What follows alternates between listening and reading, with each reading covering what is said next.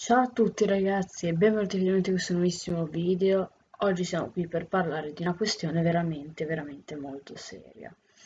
Io stamattina ero, come ogni mattina, a fare la colazione quando a un certo punto mi arriva una mail, perché era molto tardi, poi mi sono svegliato più o meno per le 10, 10 e mezza, ho fatto la colazione, mi arriva una mail da Google News, che è un'applicazione che mi serve per vedere le notizie, che mi dice che il ponte di Cornigliano, che è praticamente la città fianco alla mia, anzi è la città fianco alla mia, è crollato. L'autostrada A10 che collega Genova a Ventimiglia è crollato il ponte in mezzo al Bisagno, eh, al, al Polcevera, con, so, con um, vabbè non mi ricordo esattamente come si chiama il fiume, comunque è crollato nel fiume e la cosa peggiore ragazzi è crollata addosso delle persone, cioè le persone che abitavano lì oppure a dei magazzini, perché è crollato sopra dei magazzini, a delle case e a tanta gente che viveva lì.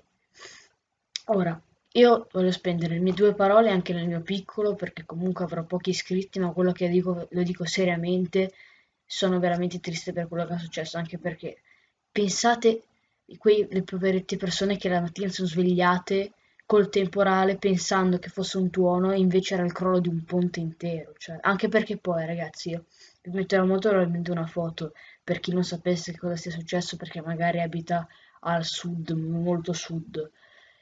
Vi posso dire semplicemente che ha un ponte enorme che non hanno praticamente mai curato perché sinceramente quel ponte avrà più di 40 anni e non è mai stato curato bene e fanno dei lavori da tre mesi prima che partissi io dalla Puglia, cioè due mesi e mezzo fa, non c'erano ancora i lavori, sono tornato, c'erano ancora. Vedete cosa succede poi alla fine, non fare i lavori, questo succede. Io non mi sto lamentando, cioè per carità, non mi sto lamentando con nessuno. L'unica cosa è che dico un po' di cura per i nostri servizi. Cioè, pensate a quel poveretto che era in autostrada col camion e stava andando e gli è crollato il ponte davanti alla faccia. Cioè, anche perché è un ponte che è alto, una sessantina, una quarantina di metri, buoni le alto, quindi pensateci un po'. La cosa che voglio dire ragazzi, molto importante, è che se siete di, ehm, non so, mm, Genova Sestri, oppure siete di Campi, oppure Genova Centro, ecco, vi consiglio di rimanere a casa almeno per un paio di giorni fidatevi di me. C'è gente che la prende sullo scherzare, ma non dovete scherzarci assolutamente perché ci sono in gioco delle vite. Sono morte più di 20 persone e non è una cosa da scherzare. Anche perché, ora posso dirvi la verità, io ho scoperto la notizia più o meno alle 10 e mezza. Noi abbiamo un gruppo di classe dove io praticamente dove scriviamo tutti quanti delle cavolate. Io la mattina non ho mai, non ho mai scritto su quel, social, sulla, su quel gruppo lì, non ho mai scritto, dico la verità ma mi sentivo in dovere di farlo. Infatti, visto che sono stato il primo della classe ad avere la notizia, ho scritto subitissimo di fare attenzione, anzi, ora vi leggo esattamente quello che ho scritto. Così, niente polemiche, vi leggo parola per parola. Comunque, come posso dirvi, eh, ci sono rimasto veramente scioccata anche perché poi la notizia del telegiornale è arrivata veramente molto tardi. Io aspettavo subito, invece è arrivata tipo un'ora e mezza dopo, cioè... Mh, mm, ci sono rimasto veramente male perché se lo Stato italiano cura le cose così allora uno non può neanche andare a scuola perché ha paura che gli crolli in testa al soffitto vabbè aspettate ora vi leggo quello che ho scritto allora eh, erano le 12 e 10 avevano appena dato la notizia e io ho scritto ragazzi è un'emergenza e poi ho mandato una foto appunto di quello che era successo che mi aveva mandato un mio amico e gli ho scritto è crollato il ponte dell'autostrada di Cornigliano, l'autostrada è inutilizzabile.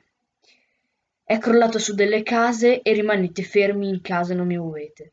Non ci, ci sono dei feriti e io ho scritto proprio testuali parole, vi dico soltanto di avvertire quelli che sono sulla 10, cioè se mettete un padre, il padre di uno dei miei amici che va sull'autostrada e rimane lì bloccato perché non lo so, non lo fanno andare avanti o peggio ancora crolla giù dal ponte.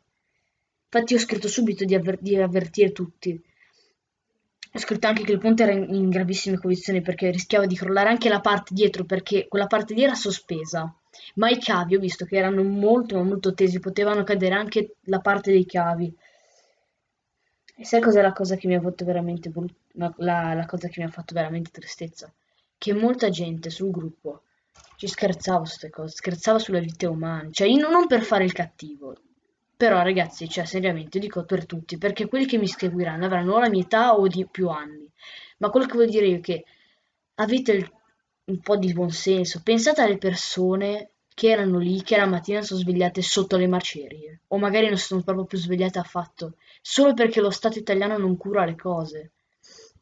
Scusate ragazzi se questo video non sarà tanto editato, ma nel mio piccolo volevo anche io dare la, mm, dire quello che pensavo, anche perché abitando a una, un chilometro neanche, sì, un chilometro di distanza da, dalla città dove è successo tutto, spero che non succeda veramente mai più una cosa del genere. E mi auguro anche che lo Stato italiano tenga di più alle, alle, cose, ai servizi più che altro, che noi paghiamo pure, perché noi paghiamo per vivere bene, allora perché succedono queste cose? Ragazzi, spero che questo video esca molto presto, dovrei farlo uscire più o meno il 15 Ferragosto, credo. Se il video vi è piaciuto mettete un pollice su, fatelo, non fatelo solo per me, fatelo anche per le persone che poverino hanno perso la casa. Se invece non volete farlo non, non mi importa avete almeno un po' di cuore per queste persone che hanno perso la vita per una cosa veramente stupida. E anche per tutte le persone che sono veramente ferite ma in gravissime condizioni in, gravi, in gravi condizioni. Quello che voglio dirvi è questo. Iscrivetevi al canale se non l'avete ancora fatto. E vi cosa posso dire